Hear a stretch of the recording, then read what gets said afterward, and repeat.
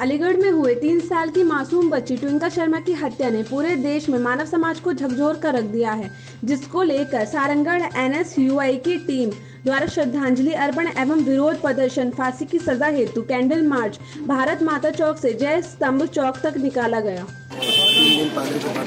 अलीगढ़ में एक मासूम सी बच्ची जो कि ढाई साल की उसके साथ जिस तरीके का मतलब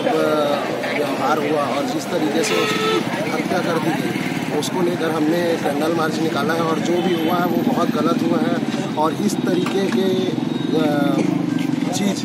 आगे आने वाले समय में तो होनी ही नहीं चाहिए और जो इसका दोषी है,